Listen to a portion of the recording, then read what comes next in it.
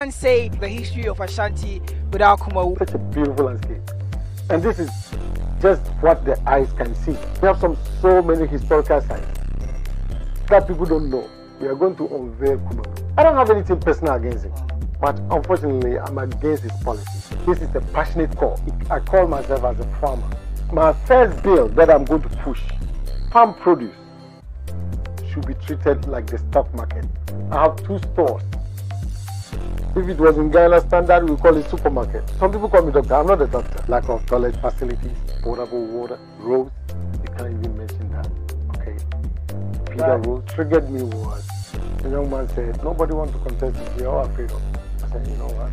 They can roll out some programs for the elderly. Okay?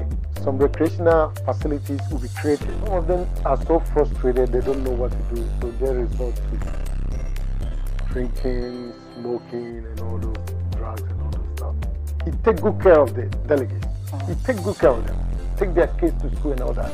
I said, Nana, do you know we can do something that nobody has done before? And he said, what? I said, go up on the mountain top. Do we have to wait on the government to come and do this for us? No, that person is me, And inshallah, I know, God willing, I'll be there.